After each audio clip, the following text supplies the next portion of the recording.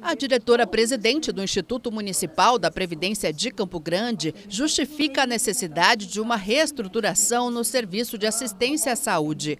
Há sete anos, o índice não é reajustado e o Servimed trabalha com um déficit de 2 milhões de reais mensais. A gente não tem outra forma de equalizar isso a não ser realmente fazer uma reforma, uma reforma de gestão dentro do Servimed. Atualmente, todos os servidores municipais podem ser segurados, independentemente da carga horária ou do contrato de trabalho. A nova proposta estabelece jornada mínima de 20 horas para adesão e prevê um plano diferenciado para servidores temporários. Os servidores convocados, que passam seis meses dentro do, da prefeitura municipal, eles não têm, eles têm acesso a tudo que todos os outros servidores têm acesso, aos servidores efetivos, por exemplo. Então, ele, se ele vem fazer uma cirurgia que custa 80 mil reais, isso nada vai ser negado.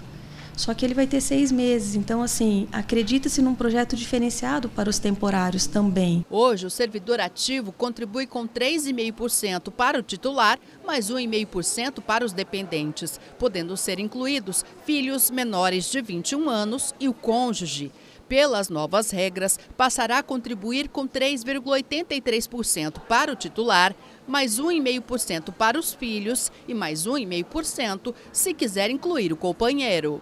Sendo 1% de imediato e depois de seis meses, meio por cento, para o impacto ser um pouco menor. Para incluir os filhos maiores de 21 anos no plano, o servidor vai contribuir com 7,6% da sua remuneração. Antes era 7%. Pela proposta, será possível incluir os pais, filhos e enteados maiores de 24 anos, independentemente do rendimento.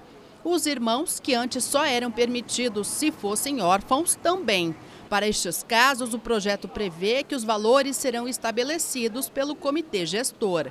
A contribuição do servidor aposentado aumenta de 6% para 6,5% nos primeiros seis meses, depois para 7%. A minuta do projeto ainda vai passar pelo crivo do Conselho Administrativo do IMPCG, que é formado por representantes do Poder Público Municipal, do Poder Legislativo e de servidores ativos e inativos. Só depois o texto será encaminhado à Câmara para análise dos vereadores. O vereador Fritz já se manifestou sobre sobre o projeto. Por exemplo, se você precisasse realizar algum procedimento com justificativa é, do médico, ele era autorizado. Agora não, vai ser criada uma normativa que vai ser disponibilizado é, anualmente a quantidade de procedimentos que você vai fazer, como é feito em outros planos de saúde já existentes e dentro da organização da ONS.